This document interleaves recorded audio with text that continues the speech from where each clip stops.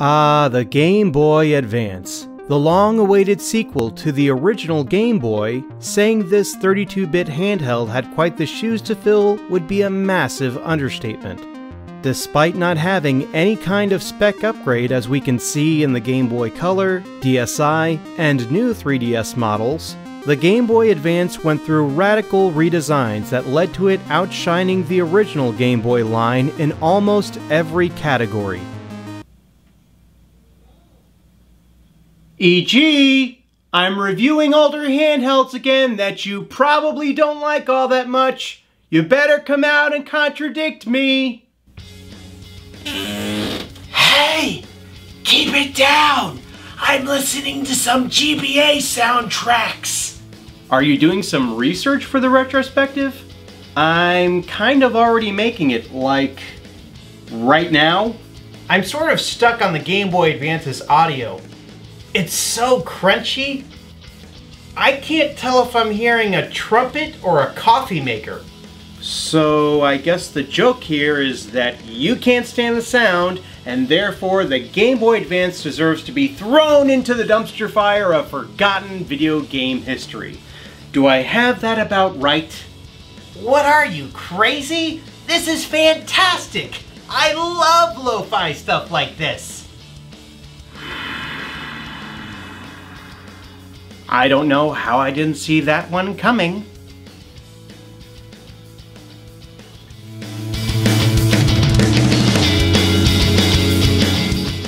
Unlike the DS, I did own the Game Boy Advance back during its heyday. I was in my late teens, and although I didn't pick it up right away, once I did, I never once turned back to play the Game Boy Color. It was just such a huge improvement over what the Game Boy was capable of, the difference between these generations was even more striking than going from the NES to the Super NES. That's not to say that the Game Boy Advance wasn't without its growing pains. In their search for improvements, Nintendo ended up releasing three different GBA models. We'll of course be covering all three of these models throughout the hardware retrospective, with today's video focusing on the differences as you go from one model to the next. Released in 2001 around the world, the Game Boy Advance was the 32-bit successor to the Game Boy. To start off, I'll be comparing the Game Boy Advance with the Game Boy Color model, since it was the last model released before the GBA launched. The Game Boy Advance uses the same kind of reflective TFT LCD screen used in the Game Boy Color and still uses a singular mono speaker. The cartridges, which are physically about half the size of original Game Boy cartridges, still insert in the back along the top right behind the screen. And those old Game Boy games all work on the Game Boy Advance. It's honestly one of my favorite features of the GBA. The power switch, volume wheel, and headphone jack all look to be exactly the same, and despite being so much more powerful, the Game Boy Advance only requires two AA batteries. What's new on the GBA? Well, obviously the Game Boy Advance has a new landscape layout as opposed to the portrait orientation of the original Game Boy line. This design always confused me since this is the very same layout used by the Sega Game Gear, Atari Lynx, and even the Tiger Gamecom, which all competed directly with the Game Boy the previous decade. The screen size has been increased from 2.3 to 2.9 inches, while the resolution has been bumped from 160 by 144 to 240 by 160, as well as a change to a widescreen 3x2 aspect ratio from the tall 10x9 ratio on the original Game Boy.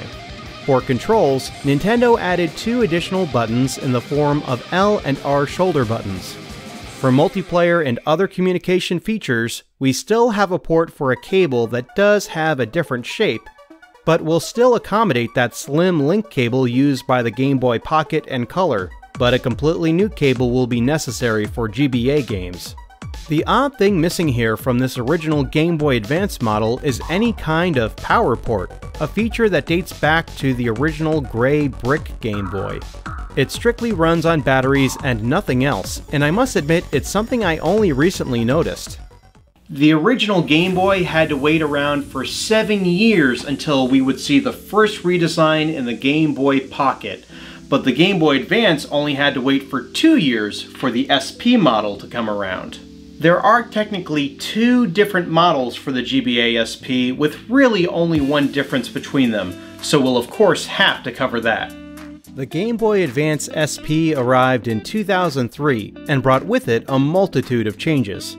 The clamshell design that the DS was known for started with this model, an engineering decision that not only made the SP far smaller when folded shut, but also kept the screen and controls well protected. When open, the Game Boy Advance SP looks more like the classic Game Boy line with its portrait layout. One of the new features that the GBA really needed was the addition of a front-lit screen, known as model AGS-001, a couple years later, Nintendo released the AGS 101, a Game Boy Advance SP with a backlight instead of a front light. This is the model shown here, and the easy way to tell the two different models apart is the way the screen appears when the units are off. The 001 screen looks silver and very reflective, while the 101 screen is black. Just above the controls is a button which toggles the light on and off in the frontlit SP, while the button switches between two separate brightness settings for the backlit SP. The volume control is now a slider instead of a wheel, and the shoulder buttons are much smaller. The cartridge slot is now on the bottom instead of the top, where it has been for the last four Game Boy models, and we now have a charging port. For the rechargeable battery, another headline feature of the SP. Just below the power on LED, there is a new charging LED which glows orange. I've never known why, but the Game Boy Advance SP is completely missing a standard headphone audio jack. You can use an adapter that plugs into the charging port, meaning you can't use headphones while charging the SP. Finally, we have the Game Boy Micro, with the name oddly missing the word Advance despite this being a Game Boy Advance model. It was released in 2005, after the DS had released, and as such only shipped just shy of 2.5 million units, meaning it's the rarest Game Boy Advance out there. As the smallest handheld video game device ever released by Nintendo, the clamshell design of the SP has been dropped in favor of a landscape layout like the original GBA, and the Micro sports interchangeable faceplates. The screen is incredibly small, even beating the Game Boy Color in this category with a 2-inch screen, and the brightness can be adjusted with 5 different presets. On the controls, the start and select buttons light up to indicate the charge level of the battery, and the L and R buttons have increased in size to be very similar to the original GBA shoulder buttons. Up top is a new charging port that is exclusive to the Micro, and we see the return of one of my favorite features of all time, the carry strap attachment. The volume controls are once again changed to a rocker, and the headphone jack makes a welcome return, there is no communication port per se for multiplayer, but you can get a Game Boy Micro exclusive link cable that plugs into the charging port which requires an adapter if you want to play with other Game Boy Advance models. The Micro only plays Game Boy Advance games. There is no backwards compatibility with Game Boy and Game Boy Color games. It is also not compatible with other Game Boy Advance accessories, such as the e-reader and the GBA to GameCube cable.